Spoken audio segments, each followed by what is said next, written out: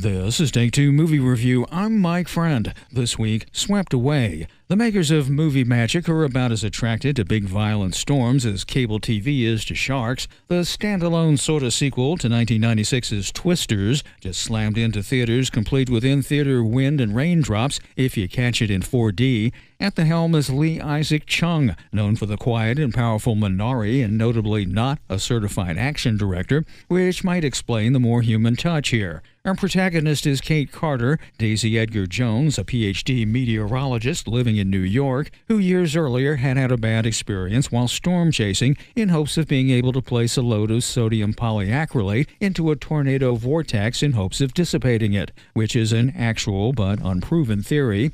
Anyway, her former partner Ravi talks her into coming back to Oklahoma to chase for a week during an outbreak and where she might have the chance to try again with the chemical. While doing this, she meets YouTube tornado wrangler Tyler, or heartthrob Glen Powell, and yeah, Ravi and Tyler both kind of have the hots for her, but that doesn't become a distraction. Issues around storm chasing and the motivations behind the individuals and entities doing it are examined with surprising sophistication.